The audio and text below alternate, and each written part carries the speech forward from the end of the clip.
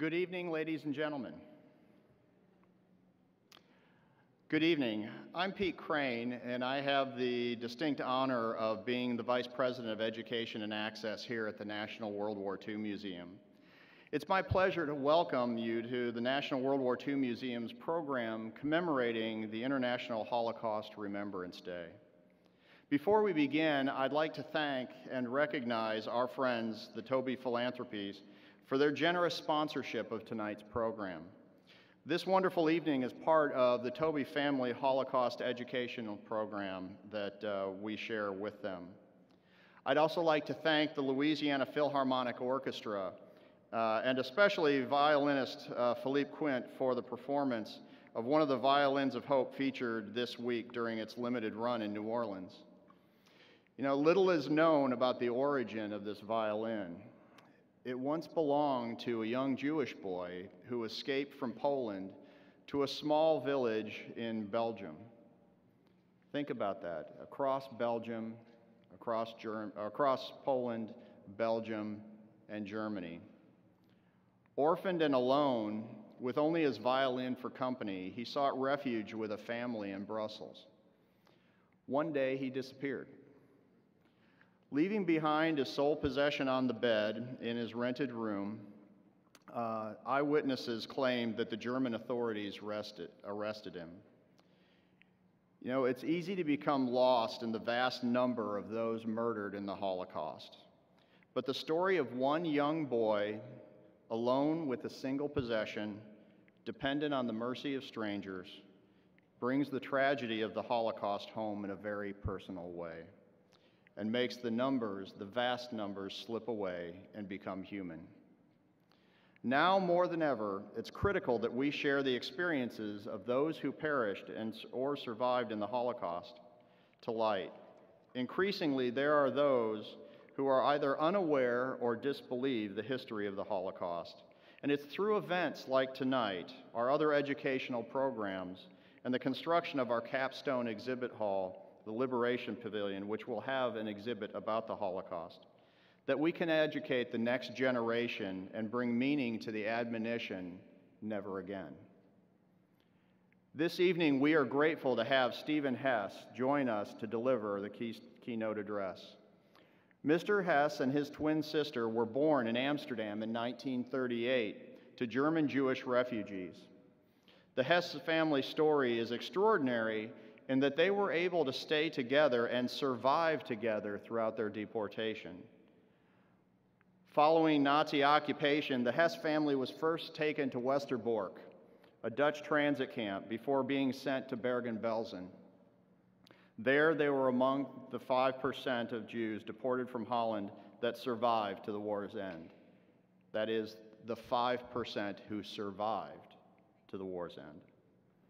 The family moved to America in 1947, and after gaining a degree at the Columbia University and serving as a commissioned officer in the United States Navy, Stephen Hess has become an advocate for Holocaust education. I had the pleasure of spending time with Mr. Hess this afternoon and heard some of his incredible story. So without further ado, I'd like to welcome Stephen Hess to the stage for his presentation.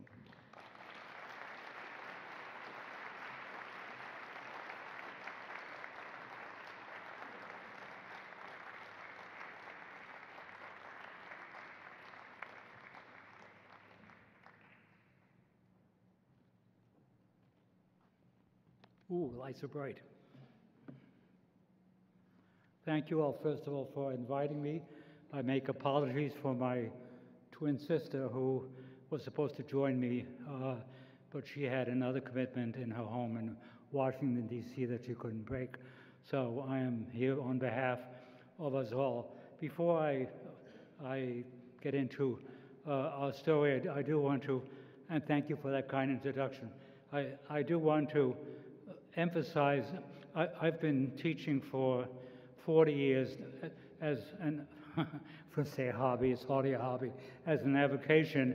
Uh, my background is as, a, as a businessman, uh, but after Reagan uh, went to Bitburg in 84, 85, I, I, sort of had an awakening and realized of the, enormity of what we had survived Uh, but on the other hand, growing up in America, I did not think much about anti-Semitism. I mean, you know, uh, we define it as a hatred, contempt, and fear of Jews as Jews. Uh, it was something in the past. It's the world's oldest hatred. It has a history of over 2,000 years. Uh, but very lately, uh, as was eloquently just referred to, uh, it has arisen, not quite yet in full force, but obviously so.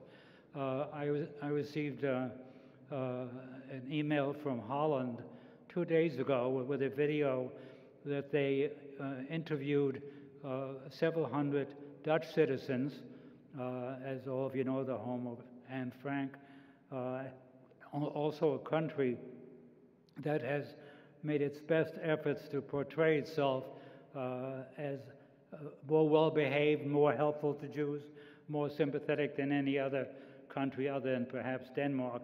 Uh, the truth is quite somewhere, somewhere in the middle. Uh, that's as far as I'll say. But, but they interviewed several hundred people, and especially among uh, millennials, those under 40 years of age, the knowledge of the Holocaust was minimal. Uh, People couldn't identify Westerbork. Uh, if they were asked to name a concentration camp, uh, they couldn't name one. Uh, and there was a, a large proportion, about 27%, of outright deniers and revisionists, uh, just for educational purposes. Deniers, deniers hold that it never happened, and revisionists say wars hell, people die. Uh, so here in this country, in this country, uh, that was in, in many ways at the core uh, of what had happened. The memory has faded, uh, and it, it struck me in particular when people say it never happened, because uh, no one denies slavery uh, with the, with all the, the bad things happened, but no one denies it. Uh, no one de- de- denies the Civil War. No one denies World War I. No one denies the Revolution. No one denies the War of 1812. It's a given. But somehow it's okay to deny the Holocaust. Uh, that would, it, that's a lot more convenient. So the, the rise in anti-Semitism is worrisome, and uh, I ask you all to support this beautiful, wonderful museum uh, and to uh, educate those who may have questionable memories or no, no memories of what, of, of what it really means. Uh, I happen to have one of a hundred copies of the blueprints of the gas chambers at Auschwitz. Uh, for uh, some of you who may not be familiar with the, the history, let me just point out that nearly all, I can't put a percentage on it, nearly all of the historical information of the atrocities uh, of the Holocaust was written by Germans. The Jews were too busy being killed, except, the, except for the Ringelblum letters that were buried in Poland and Warsaw, and later discovered. Uh, the documentation uh, was all German. Uh, I have a whole essay on the development of the gas chambers, uh, exactly what led to their development, and how the, the, the, the gas trucks, which were inconvenient and unreliable, led to, hey, we only need the engine, led to an engine outside of a farmhouse, and somebody trying uh, a well-known uh, uh, product, Zyklon B, a pesticide, advertised in all the farming magazines, threw it in the window with 50 Russian POWs, and that was a eureka moment. Uh, they had finally reached the, capa- the, the capacity of industrialized murder. So just keep in mind, these are not Jewish documents. These, these are not Jewish accusations. The Germans testified against themselves over a long period of time. Uh, the, the, the other thing I'd like to, in sort of a preliminary way, uh, give you a little thing in order to, one of the things about the, the Holocaust, and I said I've been reading it, studying it for 40 years, the more questions you ask, the weirder it gets. There's tons of questions, the answers, they don't keep coming. Uh, the facts co- keep coming out, but the hows and whys, we know what happened, uh, but it's still truly unbelievable. Uh, I'll get to my story, but uh, uh, one, of the, one of the points I want to make is the Holocaust had to be invented. And by that I mean that there's no precedent for it. Uh, if we ever have another, another pandem- pandemic, we have a good precedent. Not a good one. We have a precedent. We have COVID, so we know at least what we should do, whether we do it or not. Uh, there was no precedent for the Holocaust. Therefore, it couldn't be imagined. It was totally beyond the imaginations. Uh, the other thing that's, that's, from a historical point of view, uh, good to note is that the Holocaust was not monolithic. Uh, it, it changed and varied from time and place and from calendar year to calendar year. Uh, the most obvious uh, of many examples, I mean, yes, it was the Nazis' uh, ideological goal to murder every single Jew without exception, from every great grandmother to every newborn baby. That was Hitler's point of view. There is no document that he ever gave that order. It was understood. There's a, there's a, a popular uh, quotation in a, a, book about Hitler that the Germans were working their way towards Hitler. They were kept trying to more and more understand where he was coming from, but they understood perfectly well. Uh, Germany was a was a a country of about 60 million people. Uh, pre-war, I can't say all of them were Nazis, uh, but the support for, if you watch the movies, uh, the support for uh, Adolf Hitler and the Nazis was unbelievable, especially among women uh, and the young. And if you and if you could possibly, which you can't, but if you could possibly imagine Adolf Hitler with no Holocaust, if you could possibly do that, which you can't, we know that. Uh, yes, he, he brought, he led Hitler from a totally destroyed, demoralized country after a ruinous uh, Treaty of Versailles and, and a lost war and in, un, unbelievable infiltration and, and destruction, well, instruction, not, destruction, not that much, uh, to a prosperous nation. Uh, that's undeniable, if you could. Uh, but of course, you can't. So Hitler, uh, when I used to travel uh, to Europe on business a, a, long time ago, I'm kind of past working now, uh, a long time ago, I would never bring it up, but people wondered why I spoke poor German. And eventually, it, came out, and I told them my background. And, and perfectly nice business people would, would look me in the face and said, I didn't know anything about this. Tell me more. And they were, they were sincere. But the, the support for the Nazis was widespread until 1943 when the war wasn't going. You know, when you're a victor, things are easy to support. Uh, when you're a loser, it becomes more difficult. So to, uh, until 1943, the support for the Nazis out of Hitler and his circle was widespread. Uh, and the other reason, and the other thing is, those who were opposed to it were silently opposed to it. It was in their thoughts. It was never spoken out because the one thing that, that the Nazis discovered early and well is the tool of terror. Uh, keep in mind that the first concentration camp Dachau was built only 90 days after Hitler assumed power. Uh, it, it, was so bad that, that children at home, most of them in Hitler Jugend uniforms and Deutsche Mädel uniforms, were afraid, uh, their parents were afraid to talk about their opposition to the Nazi Party in front of their children because the children went to school the next morning and the teacher said, Hans, what did you do yesterday? Oh, my parents were saying what a bad man Adolf Hitler was. And the next day, the SS would come knocking on the door. Terror is an incredibly effective uh, weapon, and it was invented early and used thoroughly and, and throughout, throughout the war. Uh, as, uh, as I said before, the Holocaust was not monolithic, even though the, the ideology was. Uh, let me just give you two examples. Uh, again, it varied from time and place. If you take uh, the war in Poland, and generally in the eastern countries, the war was particularly brutal. I mean, how brutal can it get? It was as brutal as it possibly could get. In Poland, for example, 95% of the, of the Jewish population of about 3 million, 10% of the Polish population was, was wiped out, was murdered uh, at Sobibor uh, and the other five death camps.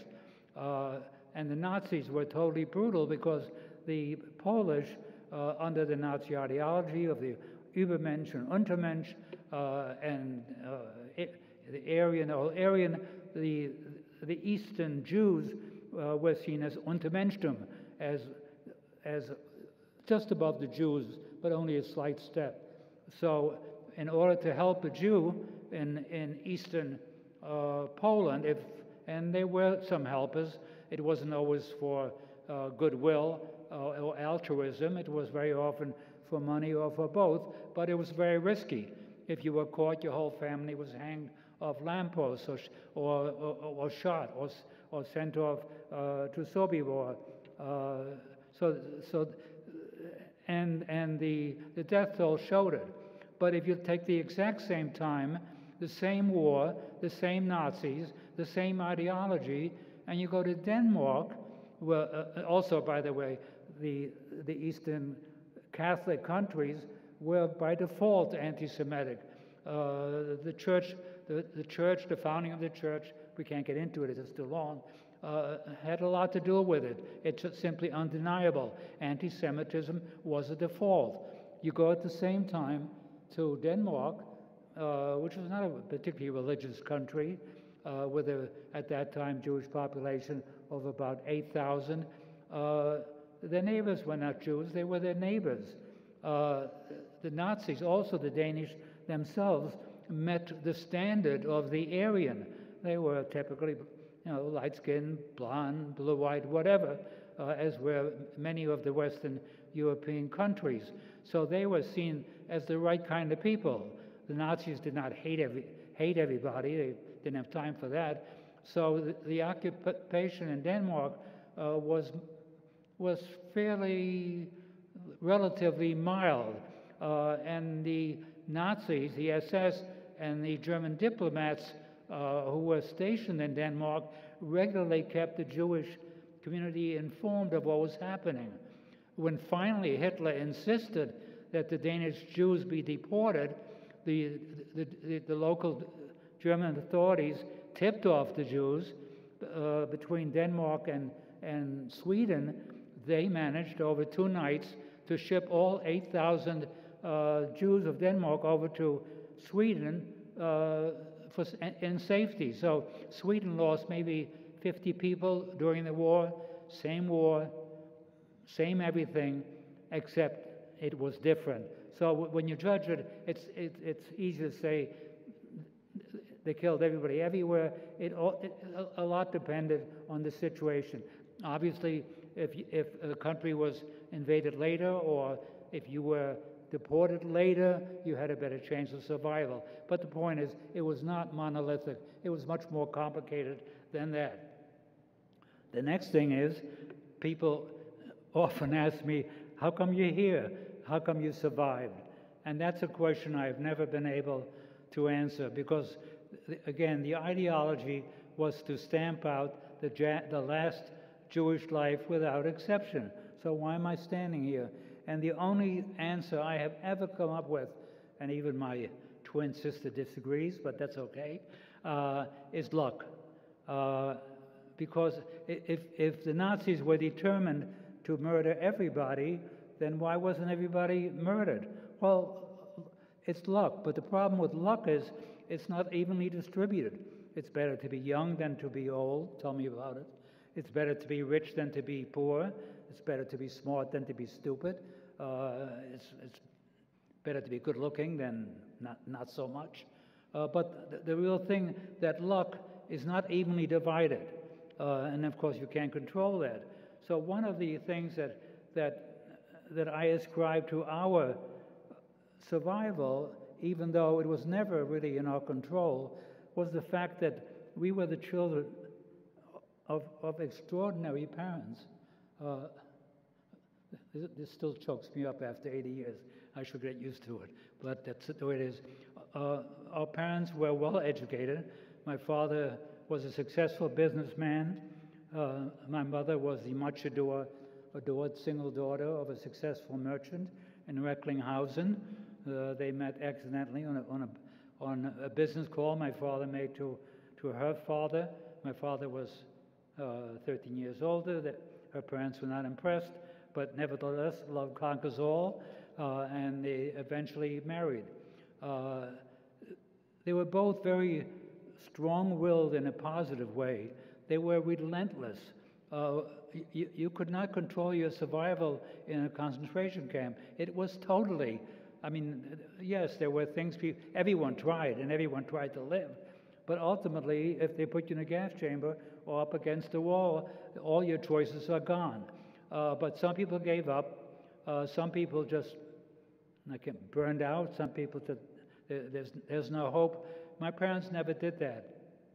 They had, they had made a pact early when, when the Nazis invaded Holland uh, in May of 1940. Uh, my parents, after a while, uh, decided that, that they would hide us, my, my twin sister and I, uh, underground, for which they had to pay. And they also had to pay for another family that couldn't afford it. And at the, uh, at the last second, my mother said, mean, they had paid for it, that had been arranged, it was very difficult to go underground as a family with, with two babies or tod- toddlers because toddlers make noise. Uh, and, and the underground simply wouldn't take them. But bef- just before they, they were going to go, my parents said, We are staying together. And that was it. Had, had they known what was going to happen, the decision might have been different. But they made a decision to, to, to stay together uh, come what may. But again, in the Holocaust, nobody could look over the horizon. It had never happened before. You couldn't even begin to imagine it. Uh, when Hitler came to power, there was, there, there, there was no uh, barrier for the Jews uh, of Germany uh, to, leave Germ- to leave Germany because uh, uh, Hitler wanted to make Nazi Judenrein, clean of Jews, and raus mit the Juden. Uh, so why would he possibly want them? He wanted to get rid of them. But rid of them in the beginning was extrusion. The Holocaust was, was such a forethought that while people may have thought it, they weren't ready for it. It required war, it required cooperation, it required commitment, all sorts of things. That was way off. So when, when the Nazis and Hitler said Juden raus, extrusion. But the problem was nobody wanted the Jews. America didn't want the Jews. Canada didn't want the Jews. Australia didn't want the Jews. Nobody wanted the Jews. Uh, so getting out was very difficult. The other problem was you couldn't take anything other than small change in your pocket.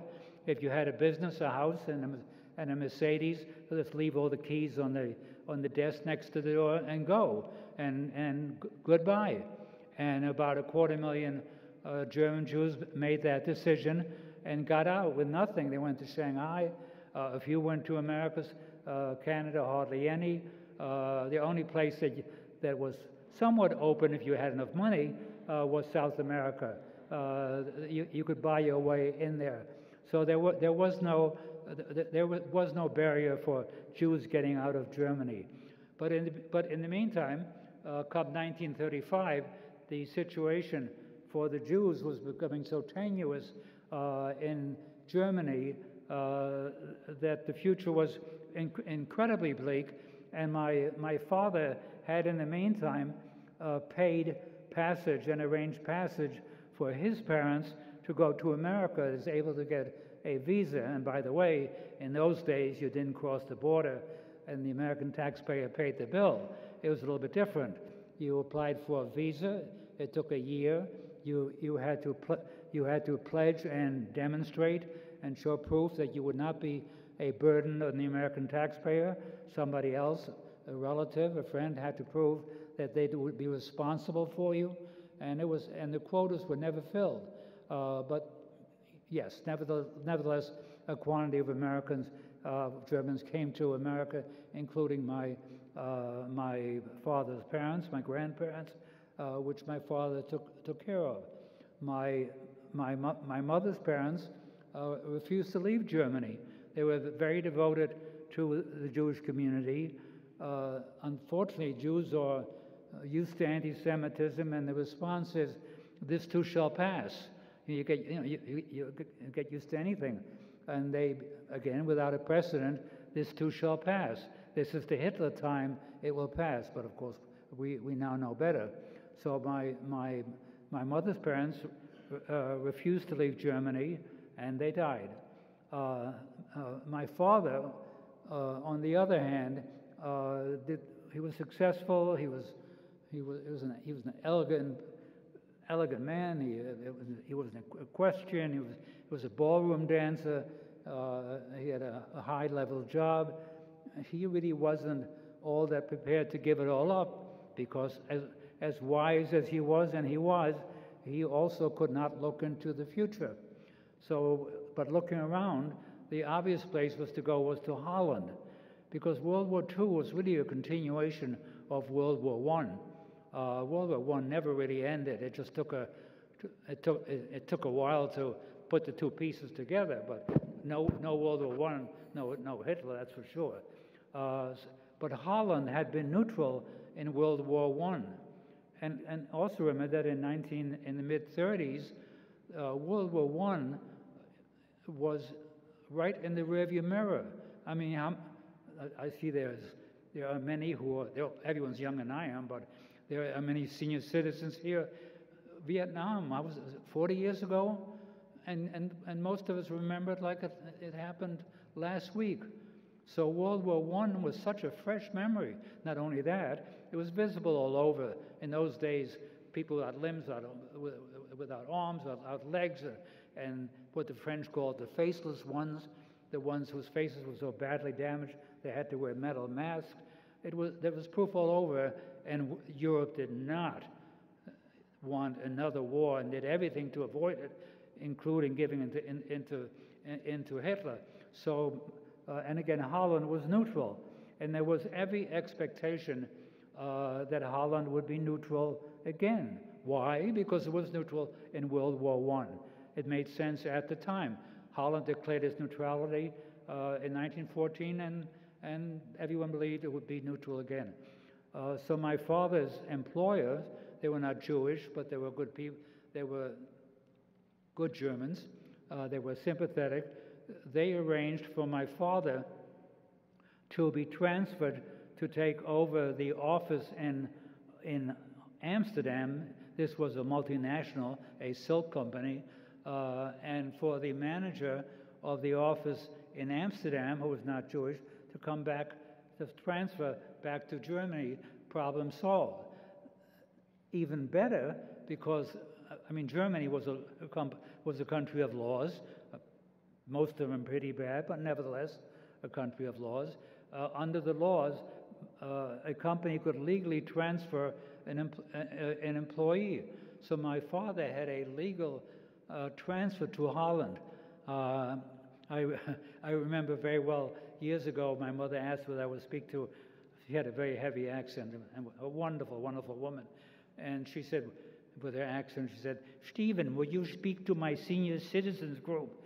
And I was in front of a, of a, a, a whole room full of blue haired ladies, uh, gray, blue haired, or none.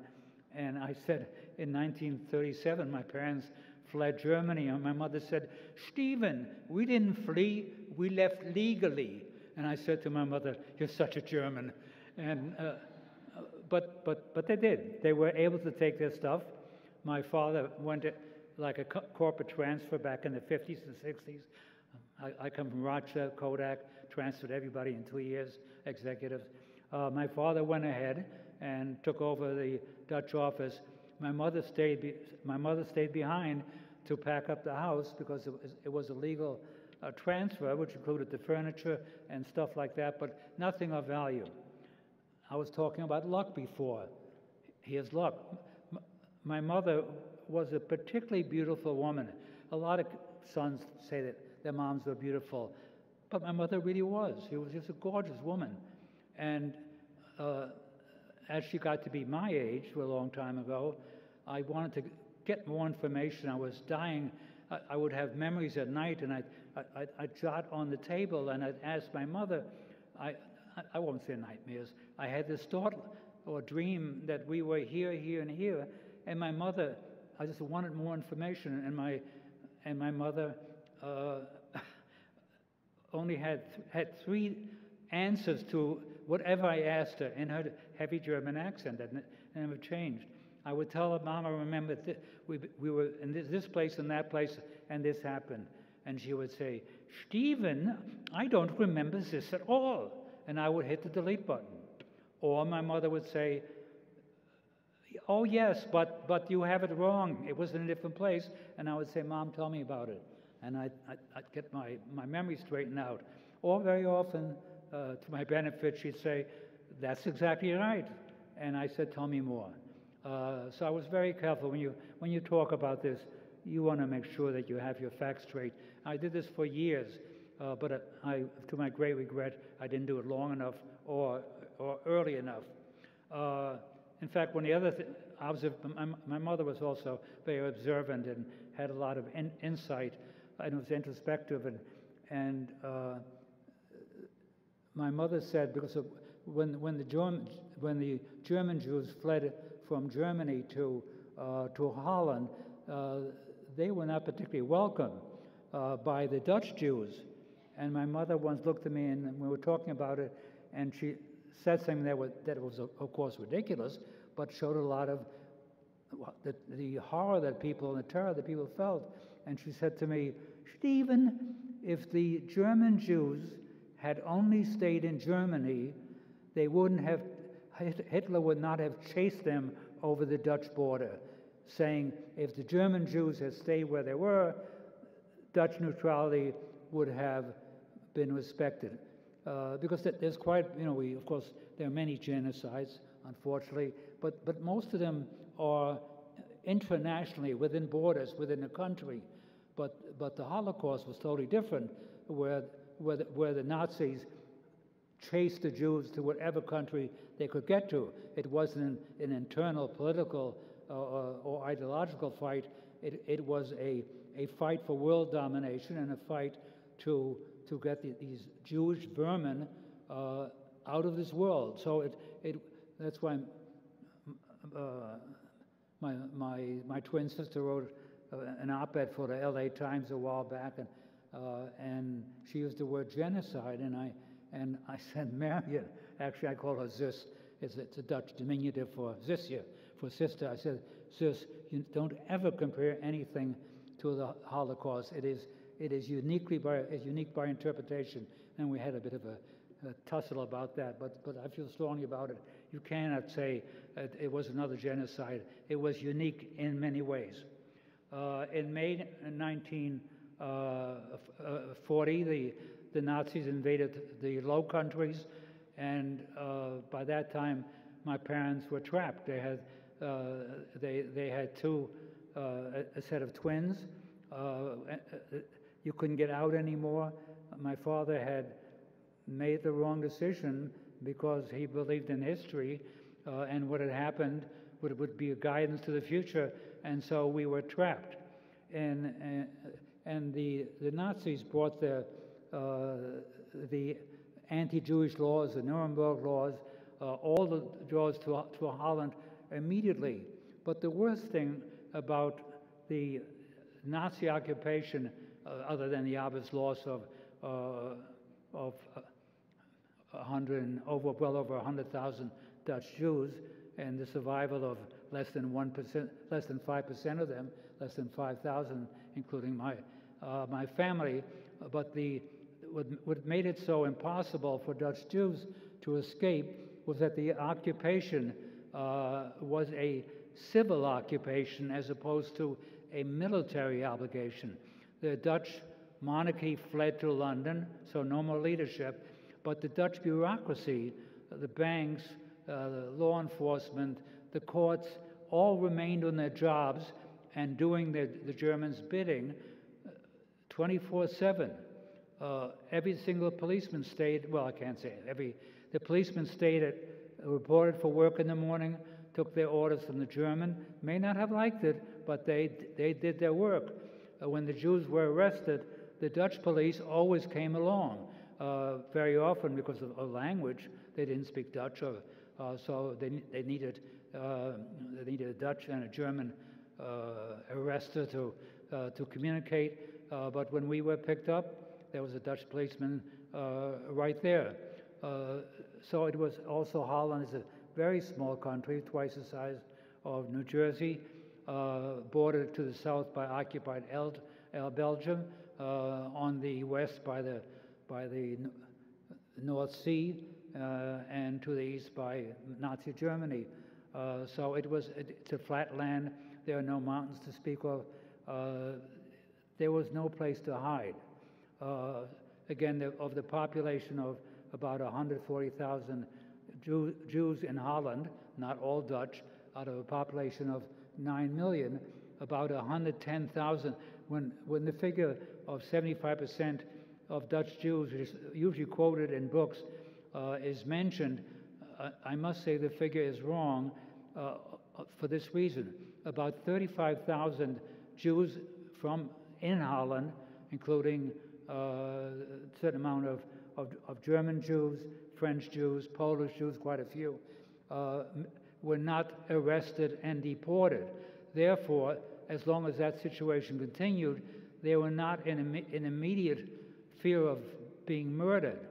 But of, of so about, uh, and about a third of them were betrayed, uh, e either uh, for many reasons uh, personal jealousies, uh, partnerships gone wrong, anti Semitism, it, it, was all sorts of things.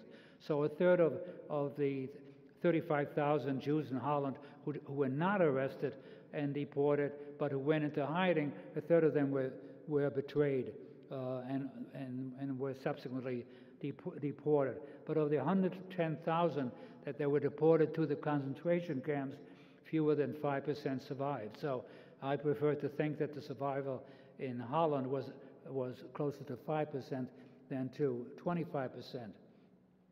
My parents tried several escape attempts. The first was, uh, the, the first was uh, right after the Germans invaded. My father had, a, had a, his car in front of the door, packed. I mean, people had a sense that this was late because they'd been, the war had started in September 1st, 1939. And, he was, and uh, my father packed us into the car, headed for the Dutch port of IJmuiden, uh, uh, as, as many other uh, German and Jewish refugees did, because supposedly there was a ship there that would take us to the safety of England. we were most of the way there. We was, and my parents, by the way, important, were stateless. They certainly weren't German citizens. They had lost that in 1935 with the Nuremberg laws, and they certainly weren't Dutch citizens. As a side remark, I looked into getting Dutch citizenship uh, last year at the advice of a good friend of mine. She says, why don't you, why don't you get Dutch citizenship? And I actually looked into it. Why not? I'm Dutch. I was born there. I can't get Dutch citizenship because you have to have a Dutch mother in order to get it. That made a lot of sense. So I didn't, and I wouldn't. Uh, anyway, uh, so my father made the, the attempt to get to the coast they were stopped by the police, the Dutch police. Your papers, please. My parents had no papers. They were stateless. And they were turned around and they went back to uh, their apartment. It was it, it, all happened within a certain number of hours, so their, their apartment had not been pulsed, a word you've never heard before. The Germans subcontract everything, and, and they subcontracted uh, the emptying of Jewish apartments after the Jews were arrested to a, uh, a Dutch uh, moving company like Mayflower or Allied Movers. And the name of the com company was, was a, a, the initial A, Puls. And I once showed my mother some photographs of Holland during the war, and my mother said that that house is being pulsed. And I said, what does that mean? She said, the moving wagon. The Germans hired the Puls Company to empty the apartments the second they arrested the Jews. The Puls Company got a phone call or a, form or whatever uh, and said, empty apartment so and so, and immediate. So if you were arrested, within days your apartment had been uh, had been pulled. The other thing with the, the with the civil occupation, uh, was so different. Again, the, the Nazis totally controlled the bureaucracy. Uh, for non-Jews, life sort of continued. Uh, and, but the Dutch were working. I mean, yes, there was a resistance, but, but not, not enough. And, and you, can't, you cannot expect uh, anyone to be a hero or, or to risk the, their lives or the lives of their family, uh, their children, their, their, their loved ones. That, that's, that's just not fair. Uh, but um, a bigger problem was betrayal. That's voluntary. Uh, the Germans paid a bounty for every Jew that was betrayed. Uh, under $100, I think, I think it was $70. Uh, so if, it was very hard. It was very hard to stay hidden. You know, children go out, they play, and and or somebody said that's weird. This people, people next door getting twice the milk jars they used to get, listening to the walls.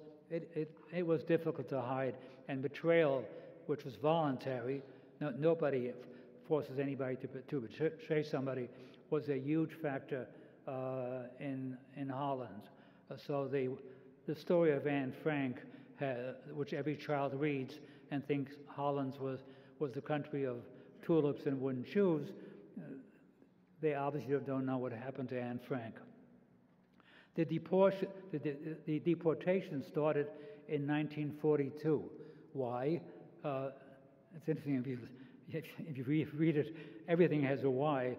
Uh, the why was that the, that the Nazis, as I had referred to, really didn't know. It was, the operation was chaotic. Everybody was trying to do what they thought was expected to do, and, and it took the Nazis nearly two years to murder the Jews of Eastern Europe, the industrial murder of Eastern Europe. You know, they, start, they, short, they started with the Einsatzgruppen, uh, four German, 3,000 soldiers apiece, uh, a lot of them uh, former policemen, that followed the army after Barbarossa and the invasion uh, of Russia.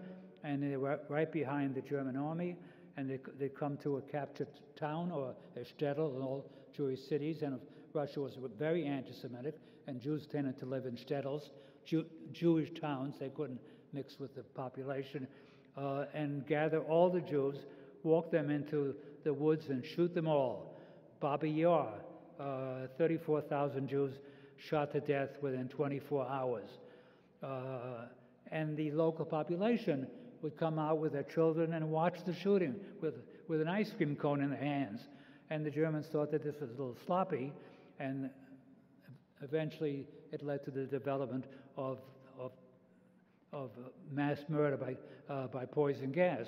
But it started, it started with the, with the, the Einsatzgruppen. Uh, in, in, in Holland, again, the, the deportations did not start till 1942 until the Germans had developed industrial murder uh, and had pretty much killed off the Jews of Eastern Europe. But in 1942 came along, and the, the Low Countries, including Holland, uh, was next. And uh, when the, just before the war started, the Dutch had built a camp the, the Dutch did not, did not want to refuse uh, the escaping Germans. I mean, unlike border crossings, won't get into politics. Un, un, unlike that, these people were, were absolutely fleeing for their lives. Uh, they were going to be murdered, and they knew it. So there's, there's a difference. So, so the Dutch did not want to take that harder line of not accepting people who were, who, who were about to be murdered, and with the Dutch, with the Jewish agreement that they would eventually pay for it, the Dutch built a camp on the Dutch side in northeast Holland, on the Dutch side of the Dutch-German uh, border, called Westerbork, uh, and that was filled uh, at the time by approximately 10,000 uh, German Jews. Westerbork was not a concentration camp. It was a holding center, it was a refugee camp. But once the Nazis invaded Holland uh, and the Endlösung, the, those are, I always use quotes because they're German words, I don't like to use them. But when the final solution started in Holland, the Nazis said, How convenient. We have this camp right on the border. And they turned the purpose of, of this refugee camp into a, a, a camp to deport the Jews. And then on most evenings, the Dutch went out and arrested Jews. The, all the Jews had to regis- register. If you didn't, you literally took your life in your hands. You would be deported right away. It's extremely, extremely risky. Uh, when they started deport- deporting the Jews, they took them first to a theater. Uh, it used to be the, the Dutch theater, then it became the, uh, the Jewish theater.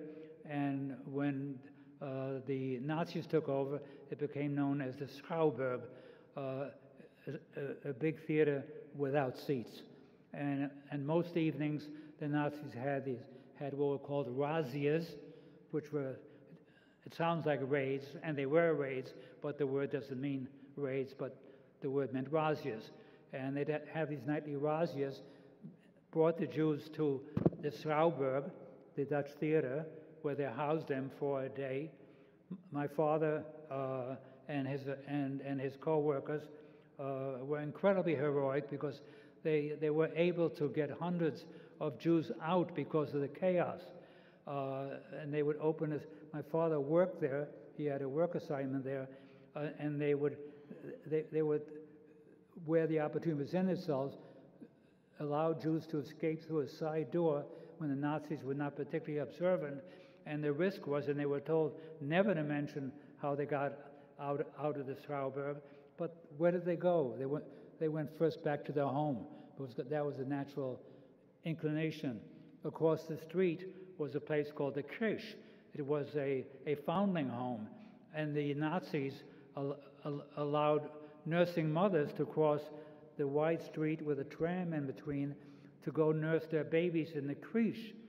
So my, my, uh, my father and his accomplices, all done at, done at night, would wait until the tram came and that the Nazi guards couldn't actually see across the street and take nursing mothers up to the age of 70 quickly across the street and, and managed to get their babies and the babies with also with the cooperation of a, of a school next door took these babies in sacks and in bags uh, in whatever uh, away and, and gave them to the underground. And, and hundreds were saved. Interesting story was after the war uh, quite a few of these rescuers uh, they had the kids baptized uh, and, and refused to return the children. And there were many court proceedings, and some the Jews lost. They lost their own children, but there are all, there are all, all sorts of stories. It took the Nazis about a year and a half to make, uh, to make Holland Judenrein, clean of Jews, uh, deporting them all to, nearly all to Westerbork. Westerbork was not a concentration camp, as I said, it was a holding center, and it, it was survivable. It was surrounded by barbed wire, it was guarded by the Dutch police. Uh, there was some back and forth between the cities and Westerbork. It was part of Holland. Uh, it, was, it was governed by a, a, a German officer, uh, but it was not a concentration camp. Uh, but everybody, but the, the horror about uh, about Westerbork was that every Tuesday, reliably as a clock, a train filled with approximately 1,000 Jews left for the east, never to be seen again. There were four destinations. Uh, there was Auschwitz, uh, which, to which about 67,000 Jews from Holland and from Westerbork were shipped, and of whom about 1,000 were alive at the end of the war. There was Sobibor, where about 35,000 Jews from Holland were shipped, of whom 19 were alive at, at the end of the war. There was Theresienstadt, supposedly a model concentration camp, but it was but really a gateway to Auschwitz, and a very few returned. And then there was Bergen-Belsen, uh, which was in the northern part of Germany, uh, that people did not know, know much about. The, the, the, camp of Westerbork was run by uh, was run by German Jews because they were the first ones there. Uh, so my my father uh, and mother decided, let's try and they had to take a train. Uh, you couldn't stay in Westerbork, and they just picked just say, well, Bergen-Belsen is in Germany. We know Bergen-Belsen. we'll, we'll take our chances, and that chances saved our lives because Bergen-Belsen uh, did not have gas chambers. People died from, from typhus, uh, exposure, uh, of course, starvation, and any disease you could, uh, you could name. So on, so on February uh, 15, 1944, we were taken to Bergen-Belsen. Uh, we, it was a one-day trip. Normally, when these trains went to the concentration camp, approximately 10% of the people in the cars, they were all cattle cars, they held between 50 and 70 people each. Uh, the trains going to Sobibor, Auschwitz took about six days. Approximately 10% of the Jews inside the locked cars were dead. Dead because they were old, they were sick, uh, there, there was no food, there was no water, and of course there were no toilet facilities. Uh, so uh, the cars were also filled by dead people. We were, we were shipped to Bergen-Belsen, which was approximately a one-hour trip. I, I have it's set up.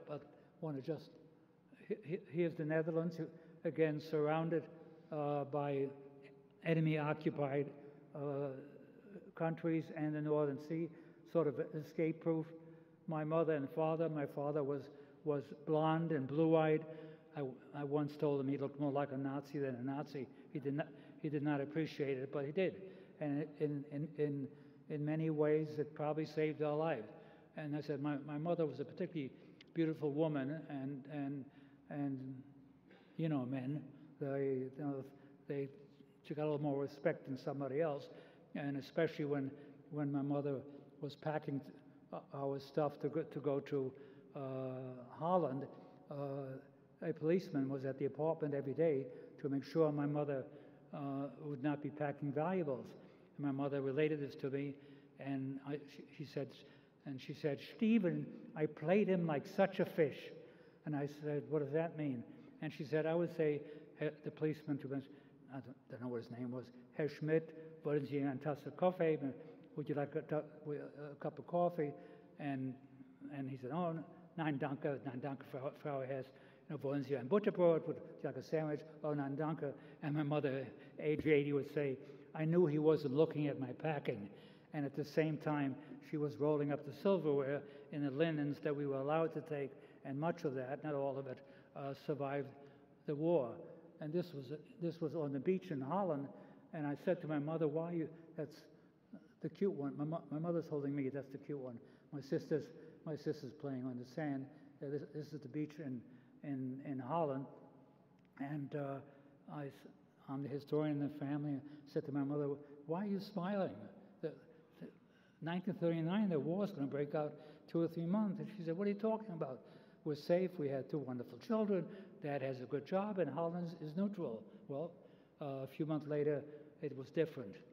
Uh, again, the invasion of Holland, uh, the Dutch army was next to nothing.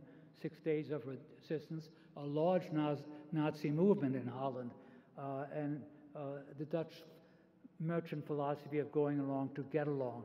Hitler's idea was to incorporate Holland like he did uh, Austria into the greater German Reich. He, he, he, saw Holland as the right kind of people as long as he got rid of the Jews. Uh, that, that, that, that's us for, in Erk costumes, which our nanny brought us. There's a long story, but the death of Mr. Fisher, I found out that the photographer's name was, was uh, Fisher. Now I know much more about him. Uh, he was caught by the Germans making false uh, photo photographs for ID papers, and they, uh, he, along with 18 others, were shot on the beach in Scheveningen.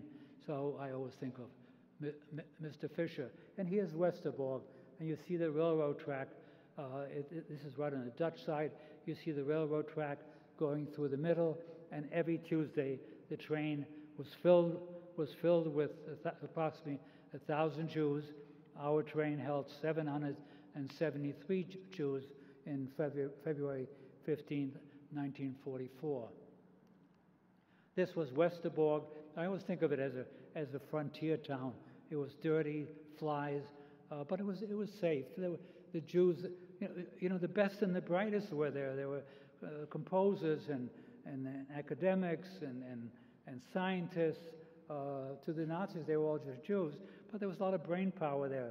Uh, so the Dutch set up schools for the kids. There actually was a small symphony orchestra that the Nazis who liked music would, would happily attend. Uh, so it was safe, but it was pretty dirty, pretty filthy, but you weren't starving and you weren't being murdered. Here, here, here are the trains, and you could see uh, from what I just related, only five out of 110, only 5,000 people survived, and 800 of them were still in Westerbork, so they were not in immediate danger. This, is, this was at We- Westerbork, uh, that photograph. These were the cars uh, that waiting, on- waiting on the railhead on a Tuesday for the condemned Jews. Uh, the Nazis used to say 45 minutes door to door, from the time the train door opened to the time the gas chamber door closed. Uh, uh, We're talking about Auschwitz and Sobibor in, in particular. I, I find this photograph touching. You see that little baby there.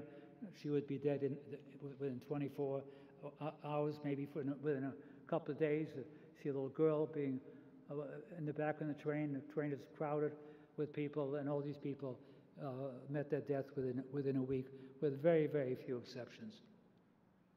Uh, again, whether the, the red arrow is, that's Bergen-Belsen, uh, and Westerbork is just to the left of it. But on the other hand, if, if you look at Poland, on the right side were all the death camps, so that was a much, a much longer trip. Bergen-Belsen was a huge camp. We were in a, in a place called the Sternlager, which is a star camp because we all wore the Jewish star and not the striped uniforms. We were supposed to be privileged, they're called the Prominenten, uh, Jews who had contacts with, uh, with uh, other countries, uh, Jews who had fake passports, which my parents had, who had purchased to neutral countries, especially Paraguay uh, and other uh, South uh, American countries, and they were supposed to be, be kept for barter, either for exchange for uh, German assets held overseas or for, for POW exchanges. That only happened twice, uh, but the Germans thought that, that, that we had some value uh, for exchange. But there was a, there was a, a women's camp, there was, there was a Ru- Russian uh, POW camp, a small camp. Uh, also, at, uh, at that time in November 1944, Anne Frank and her sister Margot uh, arrived from Auschwitz and lasted till March and died. These, here, here are the camps, all separated by the barbed wire. You see the, the, the, these huts, they were unheated in the harsh winters. Uh, these photographs, by the way, were all taken after the war uh, by, the, by the British Army. Uh, people slept, but even words like sleeping have no meaning unless, unless you were there. People rested as best they could on these, on these wooden bunks, and there was no heat, but there was, at the, en- at the end, there was a, a, a, a pot-bellied stove, but there was no fuel.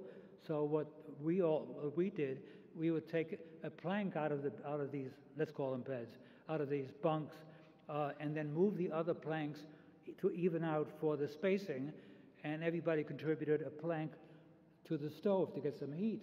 But that didn't last.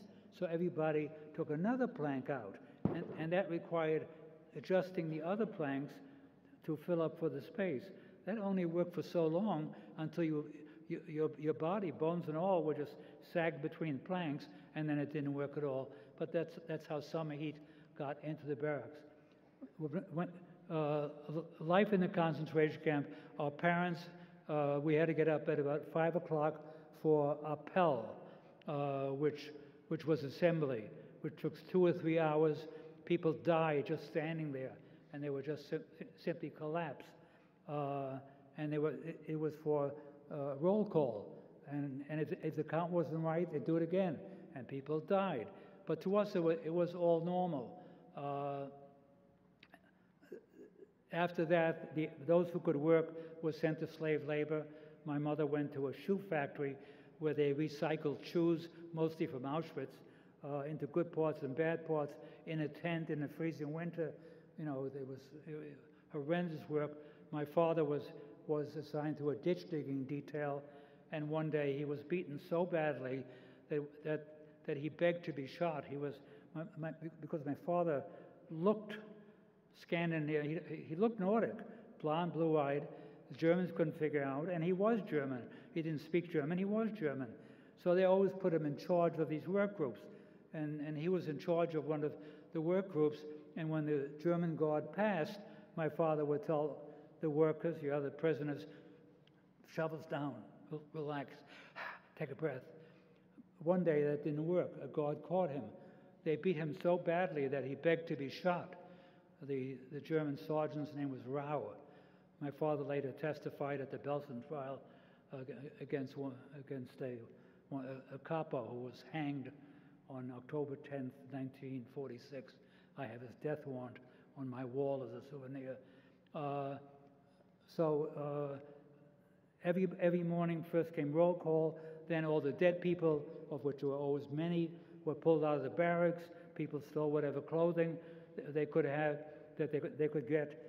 Uh, you were fed a two centimeters, I don't know why I use centimeters, I can't do the conversion, uh, two centimeters of moldy bread, which they mixed with sawdust when they baked it because they didn't have enough flour, uh, and a watery coffee that my mother used to wash us. We, we, we went washed, our teeth went brushed. We don't, had no idea what toilet paper was uh, for a year and a half. Uh, our mother used to brush her teeth like this with, in rainwater with, with, with her finger. Uh, near the end of the war, which people saw coming, uh, it, it, it, was announced that we would be put on a train. And the train, by that time, the word was out. It was no longer a secret. It meant the gas chambers, although the fact was the gas chambers had stopped operating in, in early 1944 when the Soviets uh, freed uh, Auschwitz. But did, people didn't know that. Uh, so the, this, this, transport, there were three transports, uh, uh, uh, was actually destined for Theresienstadt, a, a camp in Czechoslovakia, to be used with these hostages. That was us. Each train had two and a half thousand people, uh, and the Germans thought that they could trade uh, these skeletons and bones again for German POWs or better surrender ter terms. One train made it to, Theresienstadt. The other train, called the Hungarian train, uh, was freed by the, uh, the 73rd Armored Division, a tank division, after three or four days uh, from Bergen-Belsen. Our train after the war was named uh, the Lost Train. It disappeared uh, because the bombs were, the, the, the, the tracks were bombed uh, and the train constantly stopped. and when it stopped, again, there were 50 people to a car.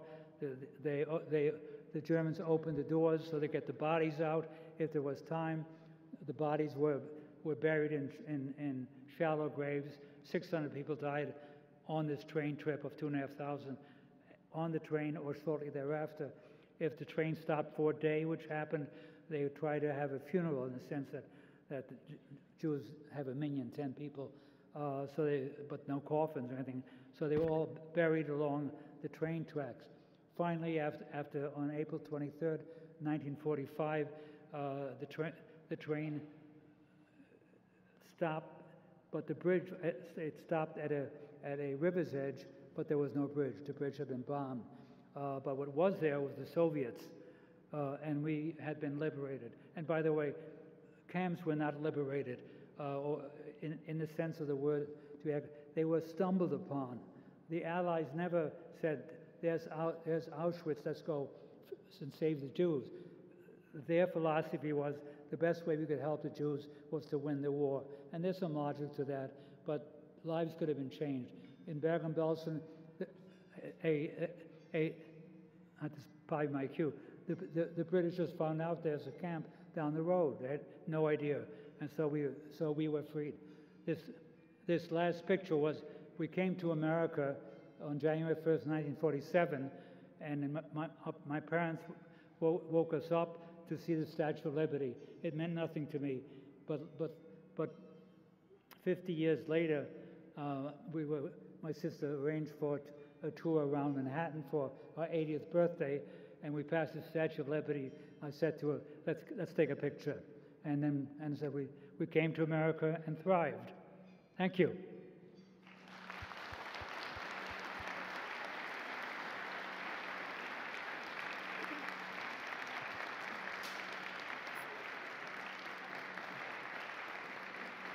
Unfortunately, we don't have time for questions. Okay.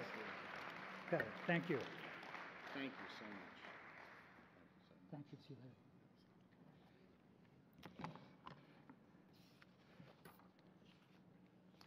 Well, thank you so much, Mr. Hess, uh, for joining us e- this evening to share your remarkable story and to charge all of us for our responsibility to educate about the atrocities committed during World War II through the Holocaust. I'd like to thank again our friends at the Taube Philanthropies for sponsoring uh, tonight's program and their continued support and partnership through the Taube Family Holocaust Education Program. Uh, those who come to our programs often may have noticed that our stage has grown. Of course, we do everything here at the National World War II Museum in a big way, uh, but this stage is really only temporary. It's for the Violins of Hope concert that we will have with the Louisiana Philharmonic Orchestra tomorrow night. But I invite you to join us again uh, next week for our show Fly about uh, four Tuskegee Airmen and their experiences in World War II. They'll be starting on the 1st of February. You can find more information about Fly uh, on our website. Again, thank you for all for joining us tonight as we look forward to seeing you again here soon at the National World War II Museum. Thank you very much.